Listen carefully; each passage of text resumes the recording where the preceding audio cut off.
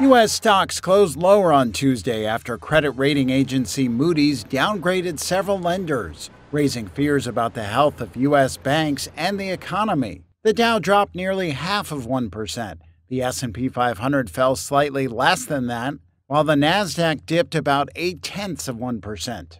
The indexes have fallen five out of the six sessions so far this month. Pence Capital Management Chief Investment Officer Dryden Pence says he thinks this is a sign that the huge technology stocks that have led the market this year are slipping and giving way to other unloved sectors. I think what we're beginning to see is uh, this shift occurring. We've had such a strong rally with seven to 10 stocks so far in the year. We're beginning to see a shift out of some of those ones that have really led and transforming it into what we believe is a broader market rally, kind of the leadership by the laggards, if you will, based on the fact that we see very low likelihood of recession this year. So I think this is the beginning of a little bleed from from the high flyers, uh, and then we'll see this spread out a bit into into the rest of the market.